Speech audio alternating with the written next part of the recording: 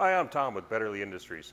I want to show you how easy it is to use the Guide Gripp to clamp a guide rail onto a narrow surface, maybe some melamine shelving, versus using traditional clamps. Every time I do this, I think it looks like I'm purposely trying to make it look awkward, so I've gone ahead and put my clamps into the guide rail and laid these out the way I'm going to need them. Uh, for a narrow surface, I'm going to hang it over the end so I can get the clamps underneath the material. So it's simple operation, but it can be kind of awkward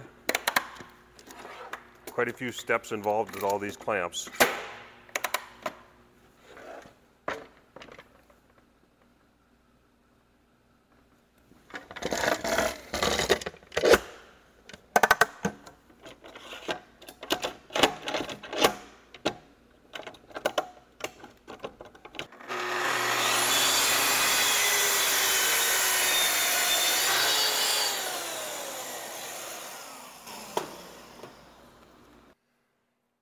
All right, let's make a similar cut utilizing the Betterley Guide Gripp.